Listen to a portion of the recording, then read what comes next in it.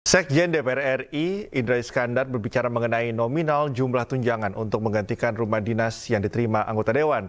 Indra Iskandar menyebut penentuan tunjangan tersebut akan diambil berdasarkan kisaran harga sewa rumah di sekitar kawasan Senayan, Jakarta. Secara uh, ekonomis, memang rumah dinas tersebut uh, kalau itu dipertahankan memang banyak sekali biaya pemeliharaan yang harus dikeluarkan untuk sebuah rumah yang layak dihuni gitu ya. Karena mengingat usianya. Nah, lalu e, berkaitan dengan pertanyaan-pertanyaan berapa sih besaran yang akan diberikan kepada dewan?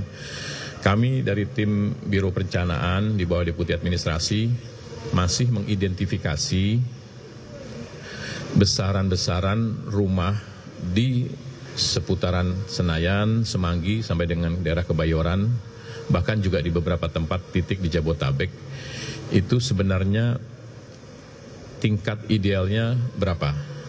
Karena kami tidak ingin uh, berpikir bahwa tingkat yang paling maksimal mahal atau justru yang paling rendah.